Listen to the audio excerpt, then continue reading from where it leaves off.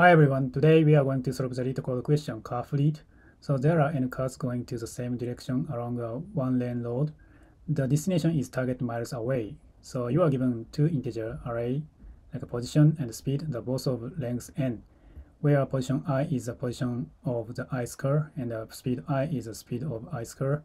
So a car can never pass another car ahead of it, but it can catch up to it and uh, drive bump, uh, bumper to bumper at the same speed.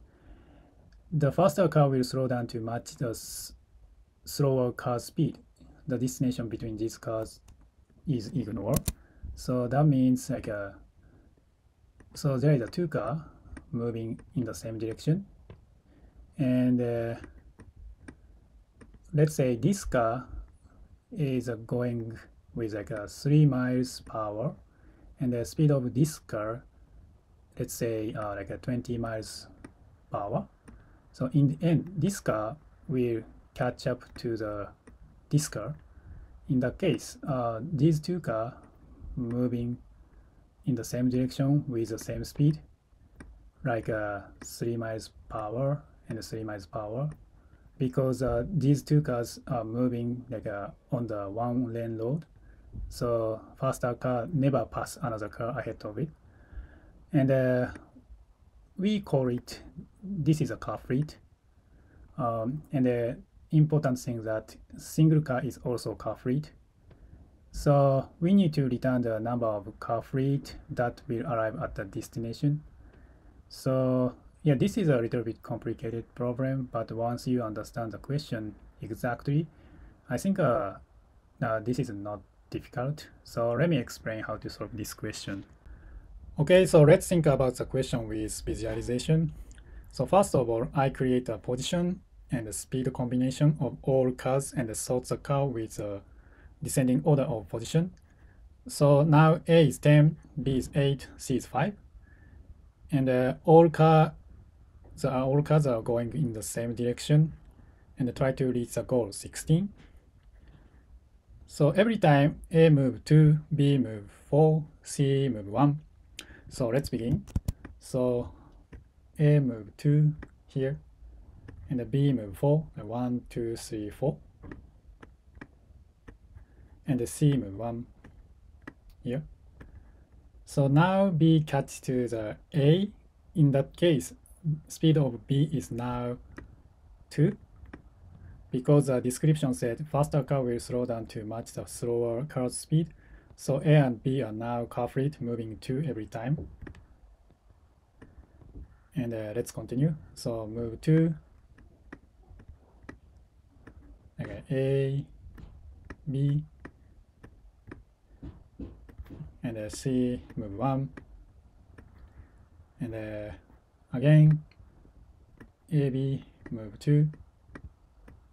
So A and B so now A and B reach the goal, and the rest of car is only C.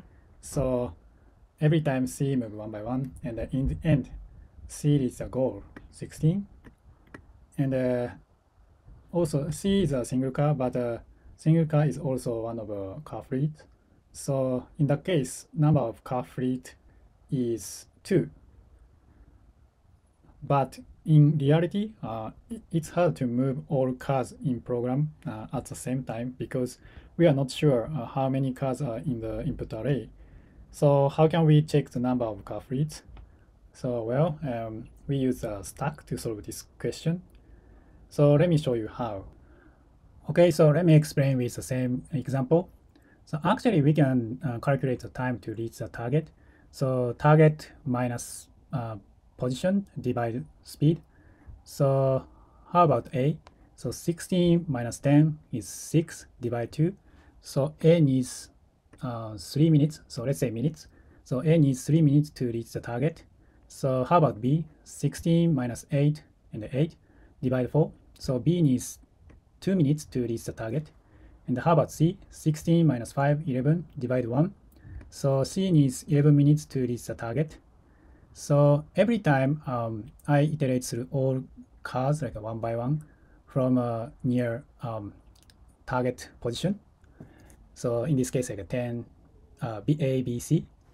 And uh, every time uh, I calculate the time uh, with this formula and then check the stack. And uh, if um, stack doesn't have any data or the latest data in stack is less than current minute, in that case, um, current car will never catch up to the previous like car fleet. So current car uh, will be one of a car fleet. So like uh, let's say, so there is two car and uh, moving in the right direction.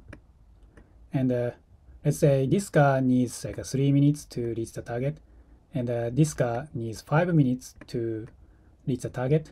So in this case, this car will never catch up to the this car because uh, this car is slower than uh, this car. So it, so in that case, uh, this car will be uh, like one of a car fleet. So it's obvious. So let's begin. So first of all, three, uh, A needs three minutes and check the stack. And the stack doesn't have any uh, data in that case. So this A is uh, one of a car fleets. So three, I put three into stack. So how about B?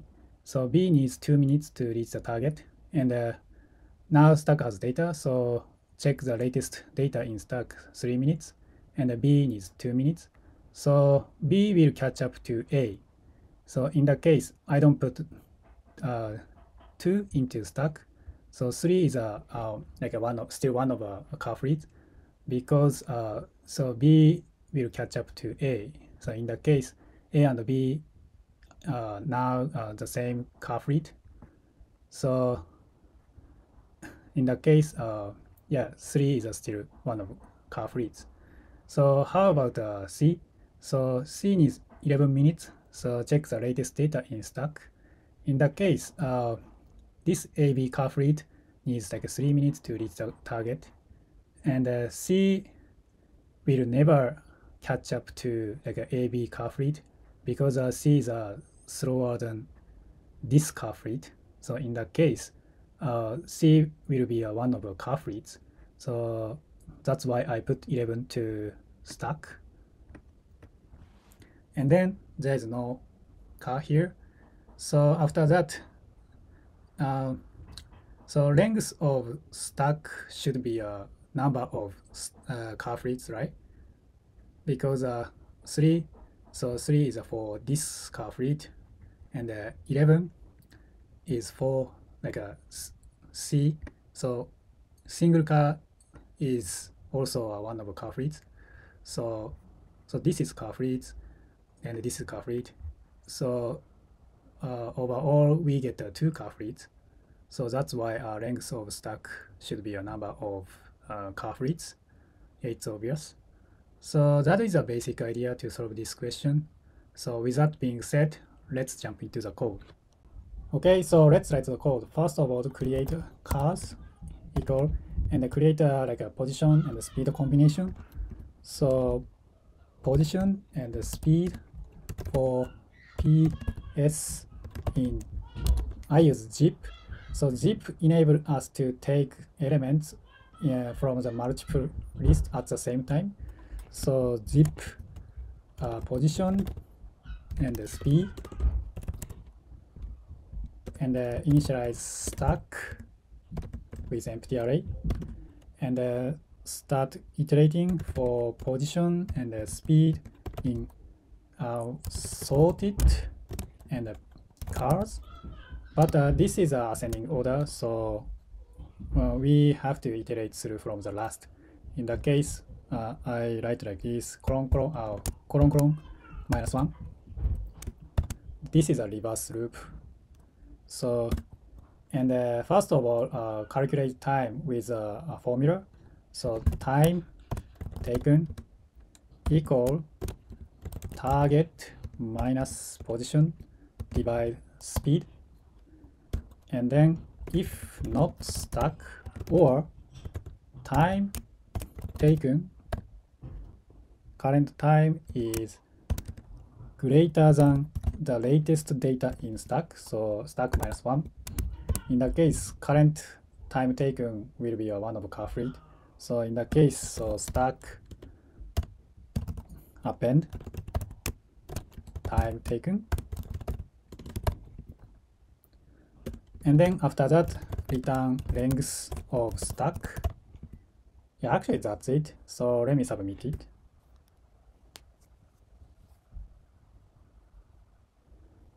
yeah looks good. This solution works. And the time complexity of this solution should be uh, order of n log n because uh, we sorted the cars here. So that is uh, like a n, n log n time complexity. And uh, also uh, space complexity is uh, I think order of n linear time because uh, I use stack. And potentially I have to uh, put the all time taken into a stack. So that should be like order of n so let me summarize step-by-step -step algorithm. This is a step-by-step -step algorithm of car fleet. Step 1. Create a position and speed combination of all cars and initialize stack. Step 2. Sort all cars and iterate from the last. In each iteration, calculate time to reach the target with target minus position divide speed. Step 3. If stack is empty or time of current car is more time taken than the last time in stack, the current car become a new car fleet. Add current time to stack. Step 4. Return length of stack. Yeah, that's it. I hope this video helps you understand this question well. If you like it, please subscribe the channel, hit the like button, or leave a comment. I'll see you in the next question.